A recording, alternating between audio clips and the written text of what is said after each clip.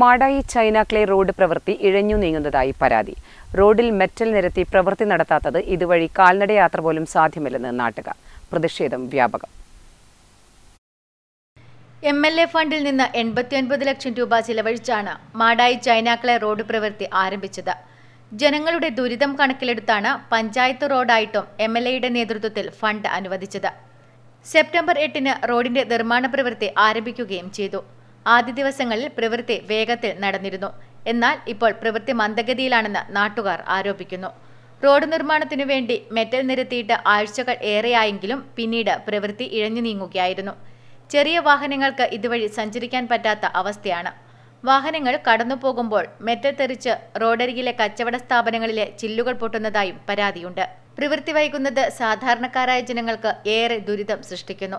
Road നിർമ്മാണം വൈകുന്നത് മൂലം പ്രദേശത്തെ ഭിന്നശേഷിക്കാരനായ യുവാവ് ഏറെ ദുരിതത്തിലാണ്. മാടായി മണ്ഡപത്തിന് സമീപത്ത് കച്ചവടം നടത്തിയാണ് ഇദ്ദേഹത്തിന്റെ ഉപജീവനം. റോഡ് പ്രവൃത്തി ആരംഭിച്ചതോടെ കടയിലേക്ക് ആളുകൾ വരുന്നില്ല.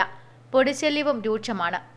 ബന്ധപ്പെട്ട അധികൃതരോട് നിരവധി തവണ പരാതി പറഞ്ഞെങ്കിലും റോഡ് പ്രവൃത്തിക്കായി ടാർ എത്തിയിട്ടില്ലെന്നും ഇലക്ട്രിക് പോസ്റ്റ് മാറ്റി സ്ഥാപിക്കേണ്ട പ്രവൃത്തിയും നടക്കേണ്ടതുണ്ടെന്നുമാണ് ബന്ധപ്പെട്ടവർ അറിയിച്ചതെന്നാണ് ഇദ്ദേഹം പറയുന്നത്. വളരെ പരിപാടി. ഓരോ സമയത്ത് വന്നിട്ട് ഓരോ പണിയെടുത്തിട്ട് പതി കിട്ടിയിട്ട് അങ്ങോട്ട് പോകും. അങ്ങനെയല്ല. എന്താണ് ഇവർ പറയുന്നത്? ഉദ്യോഗസ്ഥർ എന്താ പറയുക ഉദ്യോഗസ്ഥർ പറയുന്നത് ഡിസംബർ കഴിയാണ്ട് നമുക്ക് താറ് കിട്ടൂല. പിന്നെ ഇതിന്റെ ഇലക്ട്രിക് പോസ്റ്റ് മാറ്റാണ്ട് അതിന്റെ നടപ്പ് നടക്കുന്ന അത്രയും നാളെ എത്രയും വേഗത്തിൽ റോഡ് പ്രവൃത്തി പൂർത്തിയാക്കി ജനങ്ങളുടെ ദുരിതത്തിന് അറുതി വരുത്തണമെന്ന് നാട്ടുകാർ ആവശ്യപ്പെടുന്നു. Network news Pazhayangadi.